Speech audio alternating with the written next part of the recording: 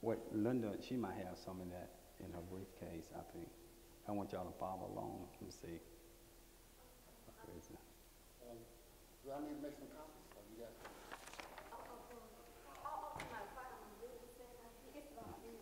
Oh, she got some.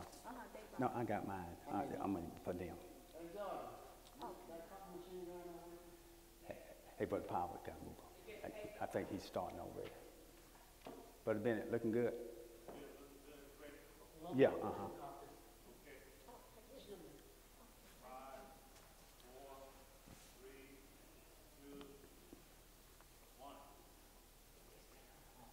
Good morning. Well, thankful that you tune in with us uh, as we do this podcast. Our podcast this morning is on Why Am I Really Saying I Do? This is about the uh, fourth week we're doing this. We have about two more weeks.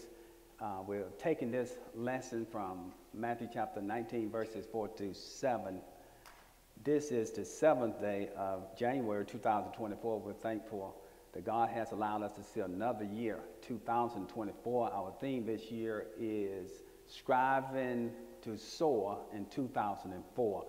Striving to soar in 2004. And so this morning, uh, we want to start out with a prayer for the Bear Power, then we'll uh, sing a song, song number 985, When the Morning Comes. When the Morning Comes, Brother Powell. And let us pray. Oh, Heavenly Gracious Father, we thank you, Lord, for this day that you have blessed us with to see. We thank you, Lord, for the opportunity to come together to study your word, learn more of you, that enable us to go out and teach others what thus saith the Lord. We pray, Lord, most of all for your Son, Jesus, who gave his life on the cross, that through his death, buried, and resurrected, we may hope to eternal life. Those who are sick, those who are shut in, those who are going to travel life, especially those who lo- lost loved ones. Be a Brother Moore, he bring us to than an hour. With him, guide and direct him in this study that we all may be edified by it. In Jesus' name we pray. Amen. Amen. 985, 985 first and last stanza of 985. When the morning comes, when the morning comes. 985. Trials dark on every hand, and we cannot understand all the ways that God will lead us to that blessed promised land. But He'll guide us with His eye, and we'll follow till we die. We will understand it better by and by. I'm singing by and by, Lord, when the morning comes. I'm singing all the saints of God be gathering home, and we will tell of the story how we overcome. We will understand it better by and by. Temptation, hidden snare, often take us unaware, and our hearts are made to bleed for its thoughtless word of deed. And we wonder why it is when we try to do our best, but we'll understand it better by and by. I'm singing by and by, Lord, when the morning comes. I'm singing all of the saints of God be gathering home, and we will tell the story how we overcome. We will understand it better by and by. Amen. As you turn the Bibles to Matthew chapter 19, verses 4 through 6. Matthew 19, verses 4 through 6. Come come right here? Right here. Uh, Matthew 19, verses 4 through 6.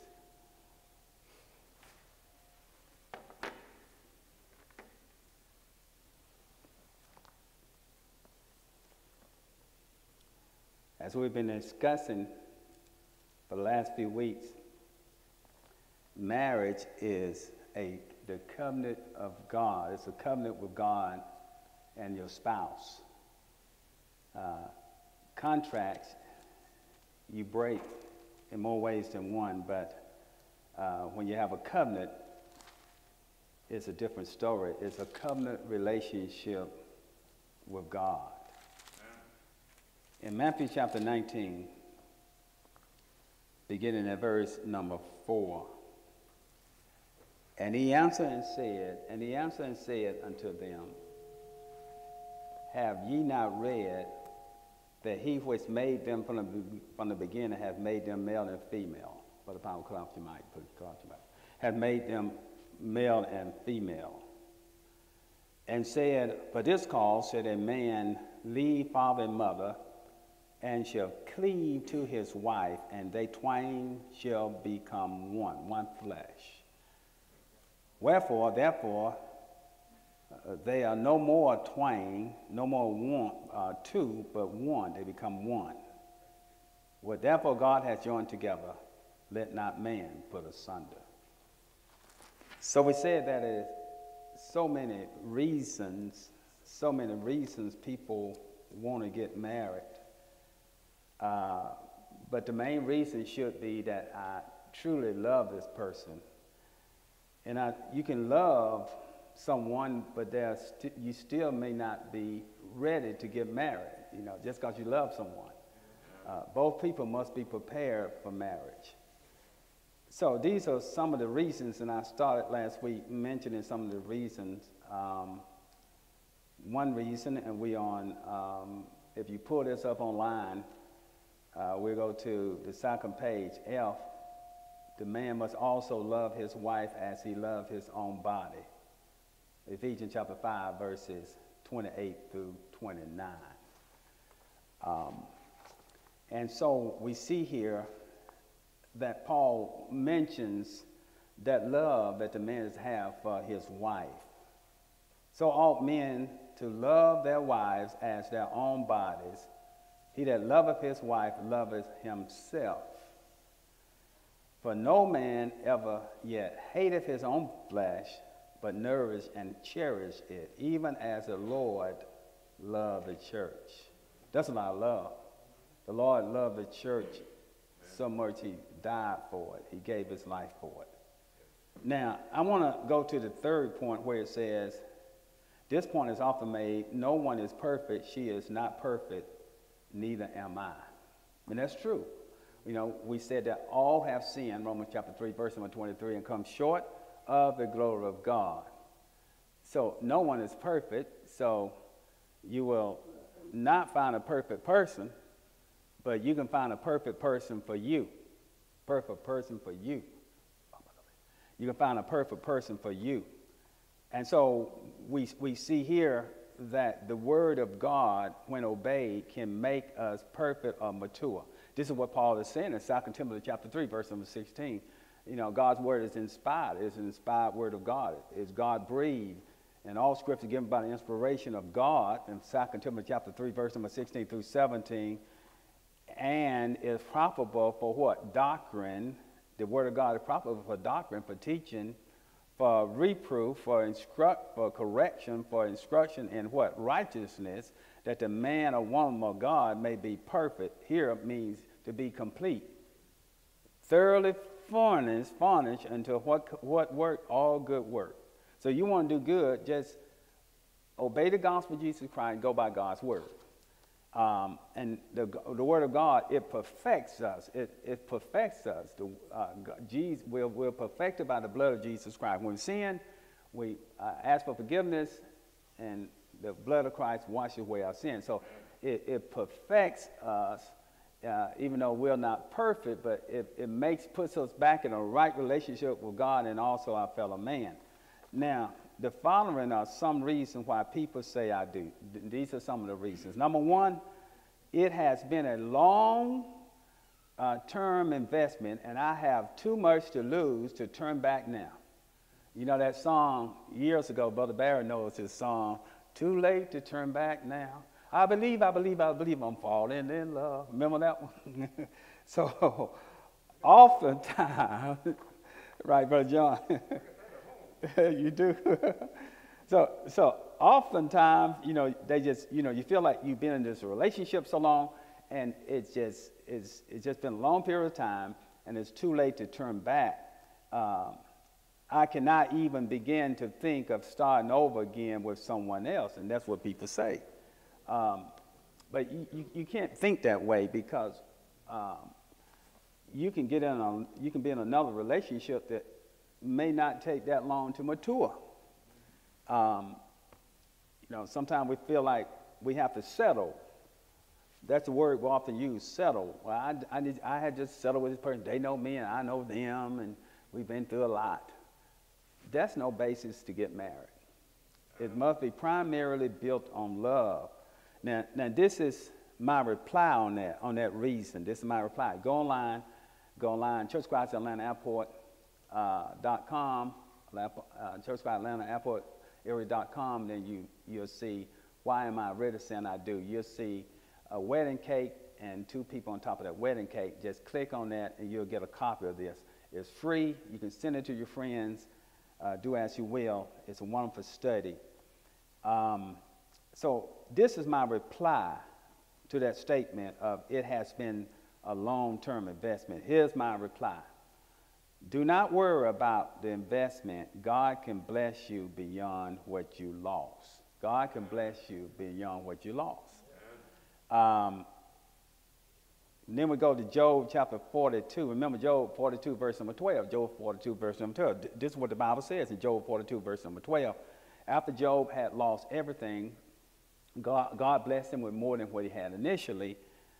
So the Lord blessed the latter end of Job more than his beginning, for he had 14,000 um, sheep and 6,000 camels and a thousand yoke of oxen and a thousand uh, donkeys, donkeys and, uh, and, and the Bible shows us there that God can give you back more than you lost.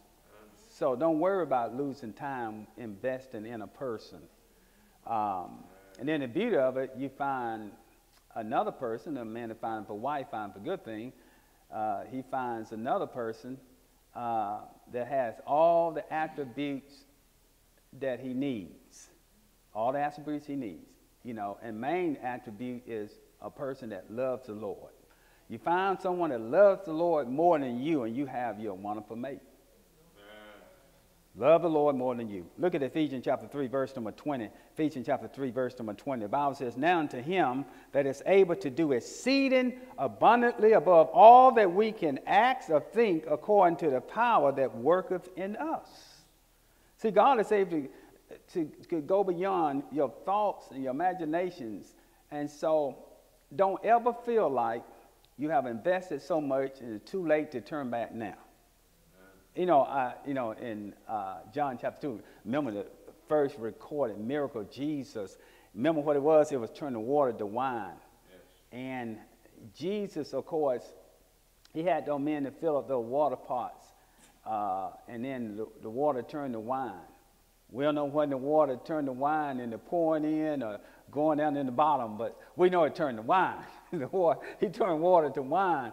And, and then this is what they said at the wedding feast and it shows that it wasn't fermented wine because they had been drinking all night. You can't drink all night and still stand up. So it wasn't fermented, fermented wine. They said, He has saved the best wine to the last, to the end. And I used to tell people when I work in the post office, ladies that uh, saying that you know they're up in age now and, and they don't know when they can find a mate and everything. I said, I said, just trust God, do the right thing, live right. And I said, sometimes God saves the best for last. He say the best for last. Don't give up on God. God doesn't give up on us. Now, now notice this. The reason we have been living together for a while, this is another reason right here. This is reason number two. Uh, uh, reason why people uh, say I do. Uh, we have been living together for a while, which is sinful. That's a sin.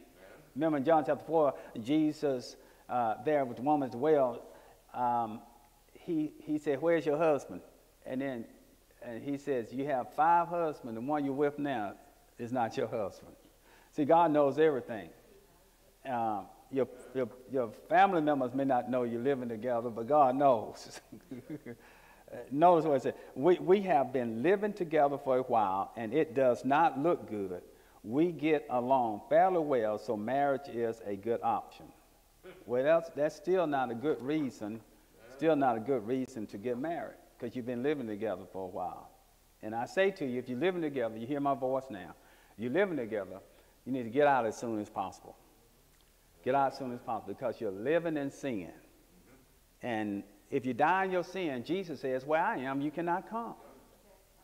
We don't want to be caught in our sins. We, we don't, you know, you want to make sure you avoid every appearance. Remember, we said Job, Job chapter 1, he avoided every appearance of evil.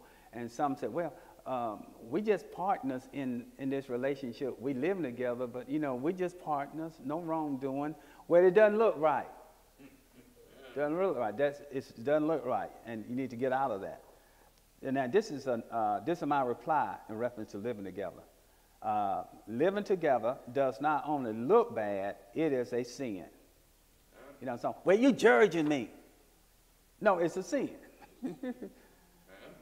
and I, I want to give you a passage that um, sheds light on that. Turn your Bibles to Hebrews chapter 13. Hebrews chapter 13. In Hebrews chapter 13, the writer said, it's so beautiful in verse number one. Let brotherly love continue. Lord, help us let that happen. Let brotherly love continue.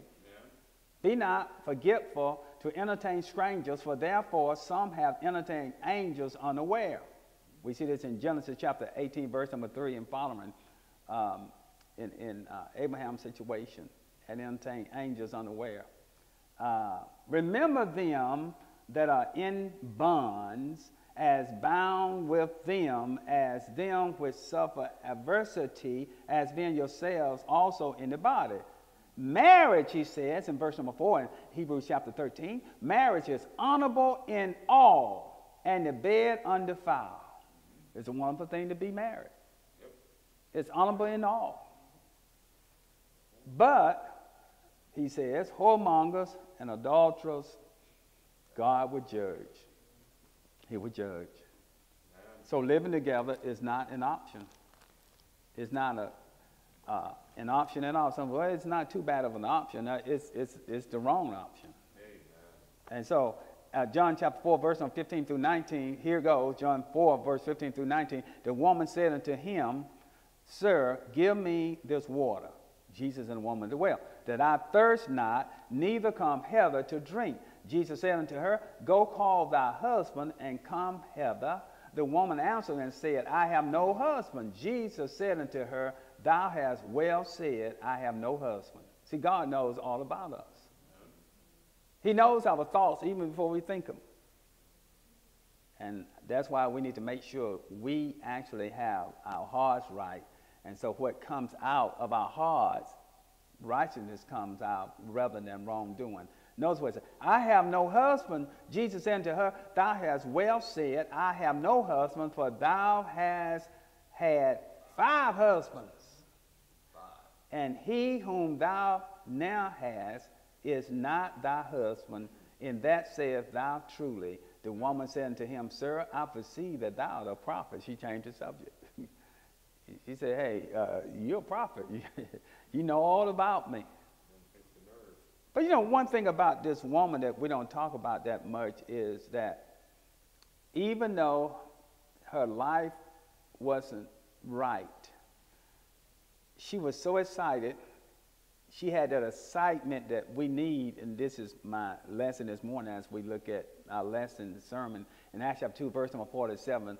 Praising God, the early Christian were praising God and having favor with all the people. And the Lord added to the church daily, such as should be saved. Now, she was so excited.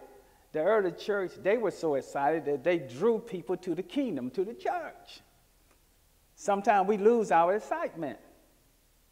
And, and, you know, we're just going along, just going along. But Satan can take that excitement away, can he? You know, it could be anything can take our excitement. We must get our excitement back. And so she was excited. She goes in the city and says, Come see a man who has told me all the things about my life. The, the people, okay, even though she didn't live the best life in the world, her excitement encouraged them to come see that man, Jesus.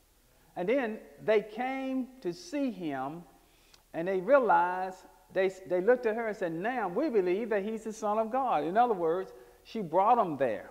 She brought him there uh, uh, on her excitement. Lord, help us to be more excited about the kingdom of God. Let us be more excited about Jesus. And they turned to her and see, they gained their own faith. See, that was her faith and her her excitement, but they gained their own excitement once they saw Jesus. Same when we bring people to the kingdom of God. We bring people to Jesus, not to preacher, not to members, anybody else. We bring them to Jesus. And when you bring them to Jesus, they gain their own excitement. They gain their own relationship when they're baptized in the name of the Father, Son, and Holy Spirit. I just sent out in our bulletin this morning that uh, we baptized five people in the last five weeks. Glory be to God. Glory be to God. And, um, but God is not through, like we see in Acts chapter 2, verse 47. The Lord added to the church daily, search as shall be saved. The Lord is still waiting for you under the sound of my voice. Uh, some of you have been listening to me for a long period of time. And, and I, am teaching the same thing every time you hear me. At the end of the lesson, I often give present the invitation. The invitation, it is Jesus giving you the invitation. It is John, Matthew chapter 11, verse number 28. Jesus coming to me. That's movement, right? You must come to Jesus. Come to Jesus. You must come to him. Some, well, uh, Jesus came to me at night and he told me this and told me that. No, he said, You come to him.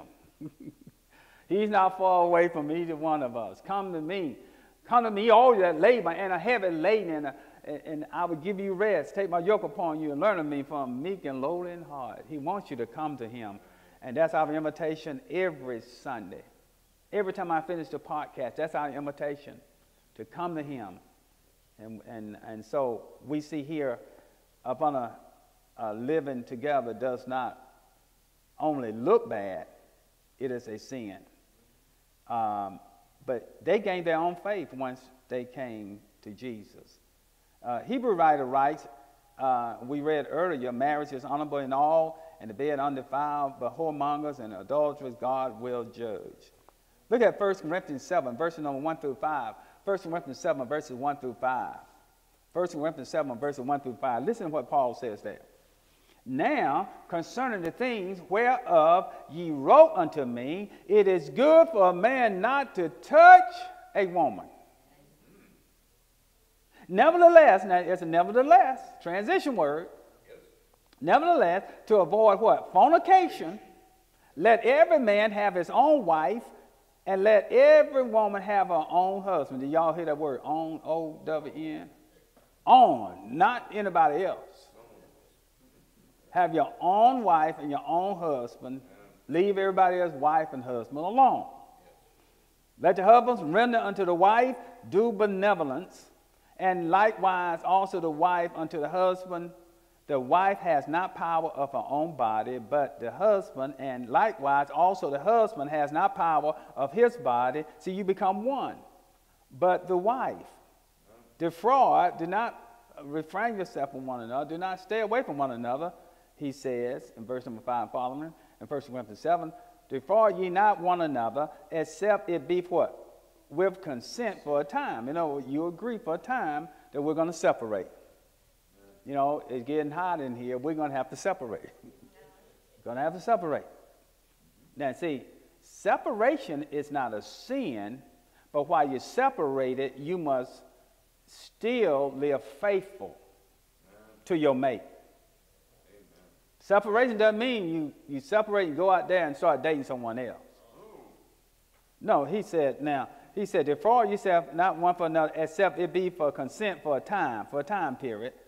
Now, he, he, you know how Satan works. Satan can come in between that relationship. Remember, the vows let no man put asunder. Matthew chapter 19, verse 4 through 6. Let, let no man come between you. You, you see, the, the two become one. You're joined together, right? Like these fingers. You're joined, joined together. And you, don't, you, don't, you need to not let anyone come between you. And, listen to what he says about this, about Satan, though. Satan can, Satan can come between you. Defraud ye not the other, except it be for consent for a time that ye may give yourselves, here goes now, to fasting and coming together again. Did you hear that? Fasting and coming together again. In other words, when you fast, and, and you must be careful about this because if, if you uh, have health problems, for example, high blood pressure, diabetes, um, certain health problems, you can't fast. You can't fast. You know, you, you have to eat, take your medicine, and do the right thing. Um, in Isaiah chapter 38, verse 1 and 5, remember Hezekiah, uh, in order for him, God gave him 50 more years. He prayed, of course, and, and God uh, gave him a formula of medicine to take. He had to take the medicine. See, people don't want to take the medicine. you have to take the medicine. I was talking to one of my friends. His wife refused to take a high blood pressure medicine, and uh, she wanted to take these supplements, and, and rather than do what the doctor told her to do. But sadly to say, it caused her to basically lose her sight from a high blood pressure, and, then, and now she's on dialysis. See, sometimes we can be so hard headed, and this includes me about our health. We can be so hard headed, and we pay the price down the road. And sometimes, Brother Barry, it, some things you can reverse, some things you can't, right, Brother John? Yeah. Some things you can't reverse. You know, once you get to a point, you can't reverse it. So, what we need to do, Brenda, we need to um, prior to that happening, we need to do the right thing. We need to eat right, exercise, and take the medicine, right? That's right. need to take the medicine. And, and, and we, have to, we have to preach that to our relatives and friends, don't we? You know, especially to our parents and grandparents. Um, a lot of them, they don't want to take the medicine. They have old remedies and everything. And, uh, but we need to get checked up. We need to get checked out often. You know how often I, I get, uh, every, every four months, my doctor, uh, it's every three months, I think. Well, it's quick, every three months. every quarter, my doctor, he gives me a checkup. And then he, he tells me what I'm doing right and what I'm doing wrong. I, I mentioned to y'all a few months ago, I, I went in and he, he gives me a hug every time I come in. He said, I'm going to take care of you, preacher. Give me a hug. And I said, I have sinned and come short of the glory of God. I gained weight. I've been eating. I've been eating cookies and ice cream, and I had to get back. I get get back on track. We had to get back on track. Some of you are making New Year's resolutions, and you know I'm told that you do good for the first month or so, and then you fall off the wagon. we must discipline ourselves and make sure we do the right thing.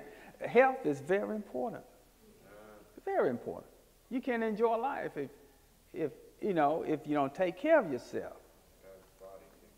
Uh, Howard Hughes, in the last few months of his life, he, um, got very sick, and, um, and, and he, he was a person that really was afraid of germs, and you know how a lot of times when you get older, you have all these different things in your mind, and you start acting on things that is not not even significant. And then uh, he was jumping forward in a sense, and uh, and uh, he had gotten sick and had all that money, and uh, they said, uh, Mr. Hughes, are you?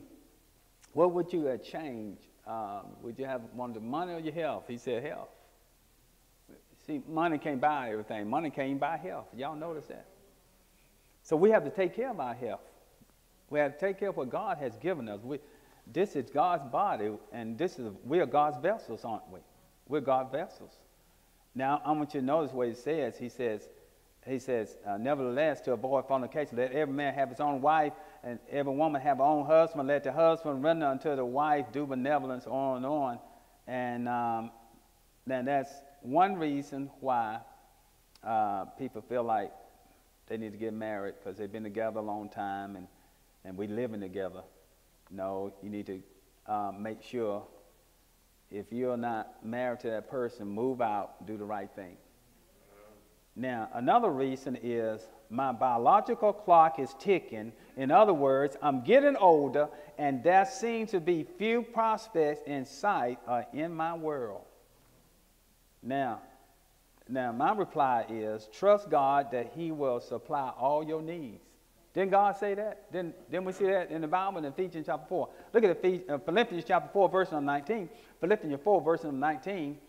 It says, But my God shall supply all your need according to his riches and glory by Christ Jesus. And some people just equate that to financial. They equate that to financial. You know, it, it, it's, his, Bible says A-L-L, all. God knows our needs. He knows our needs. And if we stay right with God, God will, listen what Paul says here in Philippians chapter 4, verse number 19. But my God shall supply all your need according to his riches in glory by Christ Jesus. And God is rich, he owns everything. Psalm 24, verse number 1 The earth is the Lord and fullness thereof, and they that dwell in it. Everything belongs to God. And if God wants me to have it and I'm living right, God will take care of me. Like the Hebrew boy said, if he doesn't, it's still all right. Because I trust him to do the best for me anyway. And so in Proverbs chapter 3, look at Proverbs 3, verses 3 through 6. Proverbs 3, verses 3 through 6. Here it goes. Let not mercy and truth forsake thee. Bind them about thy neck. Write them upon the table of thine heart, so that thou find favor and good understanding in the sight of God and man. Now, that's important because we're going to talk about how Jesus this morning, in Luke 2, verse number 52, he grew in wisdom and knowledge and favor with God and man. And in other words, um, you can't not have this great relationship with God and treating God's people any kind of way. Can't do that. I love God, but those people over there, you know, no, you can't do that. See, a broken relationship with God is a broken relationship with your fellow man. That's why he says, you know, you bring a gift to the altar. He said, leave that gift at, at the altar and make it right with your brother. Because you have a broken relationship. You're, you're up in here uh, praising the Lord and worshiping me, but you don't have you, you have a broken relationship with your fellow man. You know, Ten Commandments talk about this a lot. Ten Commandments in Exodus chapter 20, verses 1 and following, where it has the first four commandments, man relationship with God. The first four commandments, man relationship with God. And the next six commandments is man, God's man's relationship with his fellow man. So that's 10, right? 10 commandments. So the first four, you know, you, you can't break those, that, your, your relationship with God and then the next six, love thy mother and father, your days be long on this earth, do not steal, do not kill, on and on. If you break either one of those, listen what James said, James chapter 2, verse number 6. He says, verse number 6 through 10. He said, if you break one of these commandments, you're guilty of what? You're guilty of them all. You know, remember that in John, Matthew chapter 19, um, verses um, 12 and following, remember the rich young ruler uh, Jesus tells him, um, he said, What can I do to inherit eternal life? See, Jesus had not died on the cross at that point, so he didn't say, Here, believe, uh, confess, here, believe, repent, confess, and be baptized. He didn't say that because Jesus had not died on the cross. This is John 19. Jesus dies on the cross, you know, later on in Matthew 26 and 27 on and on. But um, so what did he tell him? He was still up on the law. He said, he said, you, you need to obey the law. And then, you know, Lord, our mother following. He said, I have kept that from my youth up. He said, So what lack I yet? And see, I want you to know that God knows what we lack. He does. He said, What lack I yet? And then he says, What I need you to do, I need you, here's a rich man. He said, I need you to take, take your riches, go sell them, sell your riches. Now, see, see he had to do more than one thing. Uh, go sell them, take those proceeds, give to the poor, and then once you give it to the poor, once you once you're on welfare, then you come follow me. then you come and follow. See, Jesus knew his heart. Jesus knew what he needed to do. He knows what I need to do. He knows what you need to do. And a lot of times we know what we need to do, right? It's me, it's me, it's me, oh Lord, standing in need of prayer. We know what we need to do to make it right with God. And so he, he knew. Now, I want you to notice here. So uh, my biological clock is ticking, ticking, And Proverbs 3, verse 1, 3 to 6, let not mercy and truth forsake thee, bind them about thy neck, write them upon the tablets of thine heart, so shall thou find favor and good understanding in the sight of God and man. The sight of God and man. That's it, right? Sight of God and man. Jesus said, at least one that you did until you did unto me, Matthew chapter 25. Lord, we didn't see you when you're hungry and, and naked and, and you know, without clothing, and, you know, in, in proper clothing, what he's talking about, in prison and sick. We didn't see you like that. And Jesus said, yes, you did. He said, the least one that you did unto, you did unto me. In other words, anybody that's, that's facing you, you're looking through the eyes of that person, you're looking at me because they are made in my image. That's a soul. And, and, and you're not to mistreat not one of my one, one of my people, not one. Matter of fact, even uh, believers, remember in Matthew 10, if uh, they were to give those people that were evangelizing on a mission trip a, a, cup of water, he said, you will not lose your reward. It's, it's, it's wonderful when people are kind to one another. Don't y'all agree? I was talking, we are talking to a customer, his daughter is on dialysis, and, and, and, and I've experienced that with family members, pushing a wheelchair in the dialysis clinic, and, uh, and sometimes if a person just gets up and opens that door for you, that means so much. That means so much. You know, it's just that little small, those little kind gestures, right, mean so much, don't they? And then, and then just, just someone saying thank you and I appreciate you that goes a long ways. And, and that's what Paul says, verse, verse Thessalonians chapter 5, verse number 17 and following. Paul says, all things, in all ways, give thanks, give thanks, and be thankful. I want you to notice what it says. It says, um, trust in God. Um, this is Sister Owen's favorite passage of Scripture, Proverbs 3, verse 3 through 6. Right, Sister Owens? Uh, trust in the Lord with all thine heart and lean not unto thine own understanding. In all thy ways acknowledge him, and he shall what? Direct thy path. See, even though your heart, your biological clock is ticking, you're getting older, and uh, you feel like there seem to be no prospects for you, God is able. He's able. And, and today we have this technology, and um, yeah, all kind of dating apps and everything else. And I know some people, I'm not getting on that. I'm not getting on that uh, you know, you must be making adjustments with the times, you know. Um, and, you know, if you want to do it old fashioned way, that's fine. It just, just hard sometimes to find people the old fashioned way. And y'all know what the old fashioned way is, don't you? Uh, you know, when, when you're younger, meeting people in high school, meeting people in college, and then you meet people on the job, and then all of a sudden uh, your friend introduced you to somebody that really not a match for you. Watching, you know. your cousins call oh, I got the right person for you. You don't want to disappoint them. Uh, but we have to make sure that we're right, first of all. We might, might, must make sure that we're right with God, we're doing the right thing, and God will do the rest if we let Him. So sometimes uh, saves the best. Sometimes God saves the best for last. I mentioned this earlier in John chapter 2, verse number 8 through 10.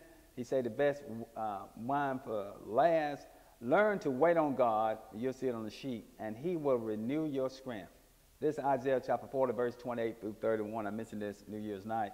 Uh, listen to what it says. Isaiah 40, verses 28 through 31.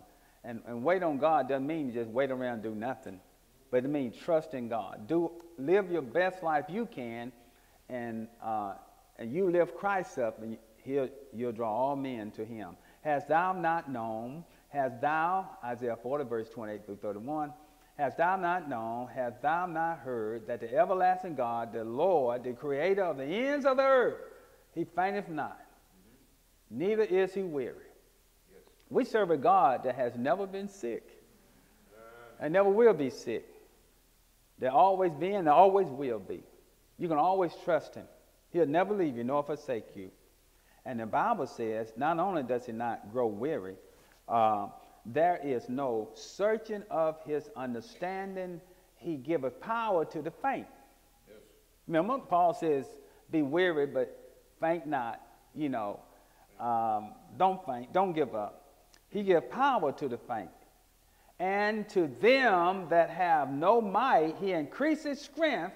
Even the youth shall faint and be weary, and the young men shall utterly fall. You know, even young people get discouraged. But, but God, but God, but God would take care of the situation. And so we want to go to um, number, um, we'll be going to number five shortly. Uh, we have about five more minutes. Um, but they that wait upon the Lord shall renew their strength. They shall mount up with wings as eagles. They shall run and not be weary, and they shall walk and not faint. Those that wait on the Lord. God will renew your strength. So don't get discouraged. You feel like it's too late for you to find someone. Just never know how, how God works. But you just keep yourself ready. You just stay ready. Just stay ready. Okay, here's re- another reason. I have a low self esteem. I feel as though I would not find anyone better than the person I am presently dating. Well, it's hard to find someone when you're dating someone. That's a hard situation. someone have to move out of the way. now, now this is my reply to that. You must learn to love yourself as well as forgive yourself. You must learn to love yourself as well as forgive yourself. Love God all the soul, mind, and strength. Love your neighbor as you love who? Yourself. Learn to love yourself. Do not marry at the level of your self esteem, but marry at, at your self worth. Okay, you got self esteem, got self worth. Don't marry at your level of self esteem, but marry at, at your self worth. You know, they tell you all the time don't go shopping for groceries if you're hungry. Eat before you go. because while you're shopping, you're going to be shopping off of impulse because you're hungry. Oh, I can't wait to get this in the kitchen. I can't wait to. but don't go in there hungry. same, same with dating, same way. You must, you must make sure that you have yourself together, you're not in a hurry.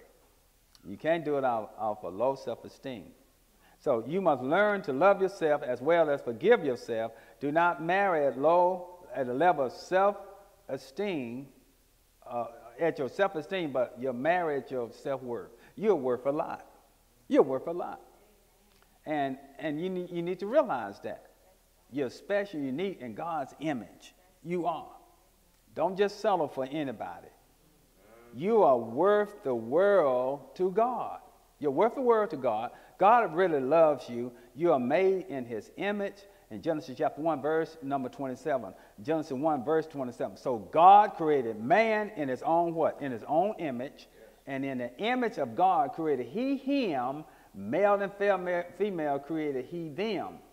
You are special according to uh, Psalm 139, verse 14. Psalm 139, verse 14. I will praise thee, for I am fearfully and wonderfully made. Marvelous are thy works, and that my soul knoweth right well. God loves you. You're special, and you're, you're unique, and don't let anyone try to pull you down and try to, and you know, I, I know people in certain relationships, uh, the man would say to his woman, to the, to the woman, you might well stay with me, don't nobody want you. Don't nobody want you. You hear that a lot. You hear that a lot. Don't, might well stay with me. You know, just trying to put a person's self-esteem down. And, and, and that, that should not be the case. Let me give you eight things, and we're going to be closing. Let me give you eight things. We got one minute. I'm going to give you eight things and we'll, we will, we will cash in on these eight things next week, but I, I'm going to give them to you so you can study these for next week. Eight things to consider prior to getting married. Here's eight things to consider before you get married. We'll go one by one next week. Do I love this person enough to spend the rest of my life with them? Do I love this person enough to spend the rest of my life with them? Okay, the answer needs to be yes. And it, it should not be no, and it should not be not sure. Now, now keep in mind now, notice what I said. Now, do I love this person enough to spend the rest of my life with them. That's a lot of love. You know, you can, you can love a person and say, well, I'm, I'm not really ready to spend the rest of my life with this person. My love doesn't go that far. If it doesn't go that far, you don't, you don't need to marry. Now, now, now here's, here's the second one. How many children do we plan on having? If any, do we both agree on when and how many children we're planning on having? You know, some people come from large families, they want a large family. Some people from small family, and the wife might want five children, man might want one. You're gonna have to work that out. Uh, there's gonna be some problems up in here, right? Number three, what are the spending and saving habits of both persons? Also, who would be the primary financial person? Spending and saving habits are so important. Do you not know one of the number one reasons people get a divorce is because of financial money? And then keep in mind, it's not necessarily not having enough money or having too much. It's just how we gonna, right, John? How we gonna spend it? How we gonna, whether or not we're gonna save this and whether or not we're gonna spend this and yeah, and she could be one that uh, loves to save, and he could be one love to spend, or vice versa. Um, and then you have to also analyze. Let's say you got aging parents, um, and they they need financial help. You must be on one accord. That's why you must be one. You must be on one accord on how much you're going to help them with or whatever, because that's that's important. They're important right? You might have a spouse that say, well, uh, we're just not going to spend that on our aging parents. We're going on a, we're going on a vacation next week. What's more important? What's more, more important? So you must be on one accord. Look, now, now look at the next one, the fourth one. What are the career goals of each partner? Where these goals have a strain in our relationship of, grow, of growing and glowing together. Will We will grow and glow together uh, with our career have a strain on our relationship. That's important because if the husband has certain hours that he works and the wife, you know, they're missing each other like a ship going by each other in the night, um, that can have a strain on your relationship. You know, it, it really can. I, I, mentioned I was in the military um, in Germany and, and I had a choice. I had a choice to uh, go there for three years and take my family, or two years and not take my family. I chose to take my family because I wanted them to grow with me. I, I didn't want my career to uh, separate us like that. And not too many marriages can take that. I had some friends to do that, and they wanted a short tour, two years instead of three. And some of them, when they went back home, they didn't grow together, and, and things didn't work out that good. So uh, it, we have to think about the marriage first. See, sometimes, I want y'all to think about this now. Sometimes we sacrifice our marriage on the altar of success. Y'all know what I'm saying when I say that? Sometimes we sacrifice our marriage on the altar of success. You know, we're trying to um, make the money, do this and do that, and, but we don't put our marriage first as a priority. Yeah, keeping up with the Joneses. And, and, and Brother John, I, I, tell people all the time, you be careful about keeping up with the Joneses because you don't realize the Joneses keep refinancing. And, and then the Jones, and then another thing about the Joneses, you know what? They have better credit. They have better credit. So you can't keep up with the Joneses. For now. That's right. can't keep up with the Joneses. Just do what you need to do in your financial situation. Now we have eight more. We have uh, four more. We'll be closing. What would be the Sexual adjustment for each partner, we'll talk about that next week. What about my religion as well as my partner's religion? Do we share the same faith? That's important. You know, Paul says uh, in 1 Corinthians chapter 7, we'll talk about it uh, next week. He said, when you marry, marry only in the Lord. You tell the widows, right, to marry only in the Lord. And so you want to make sure you have the same faith. This is seven. Seven, what about our in laws? We are we, uh, are we really leaving and cleaving according to Genesis 2 24? Because sometimes we don't leave our mother and father like we should and cleave to one another. And sometimes our in laws can be outlaws. We don't want our in laws, Brother Barry, to become outlaws. Mother-in-law, that's the old song, yeah. Mother-in-law. Uh, John saw some of. The, number eight, here's number eight. What about our peers? Will we consider associating with married couples more than our former single friends? That's important. Because when you become, when you're married, uh, you need to stick around married couples. You can't, you can't go back to your old single friends. It's okay to have lunch with them, eat whatever. Don't get me wrong, but you must be careful to make sure you stay with uh, the married couples because that's the environment you're in now, and that's where you're going to grow in. And you don't want any single person to pull you away from your spouse. At this time, you have heard the word of God, believe it all your heart, repent of your sin, confess Christ, and be baptized. If you're not married, you don't need to be married uh, here to go to heaven, uh, but you need to be married to Christ in that you are baptized in the Father, Son, and Holy Spirit. Uh, and so I want you to know this morning that in Matthew chapter 22, Jesus says there will be no marriage in heaven anyway. All would be fulfilled. Marriage is only to be joy here on earth. Brother Powell leads in the closing prayer. Let us pray. I have a great Father. We thank you, Lord, for the lesson that was spoken by Minister Moore. We pray, Lord, that the things we have learned about marriage, that we continue to uh, listen and, and, dwell on it, the importance of it, Uh, that we will always be together as one, as you have put it. We pray, Lord, continue, consider to be us and guide and direct us by the Holy Spirit that's keep us from the temptation of Satan. Pray, Lord, be with us, guide us, and bring us back at the next point in time. In Jesus' name we pray. Amen.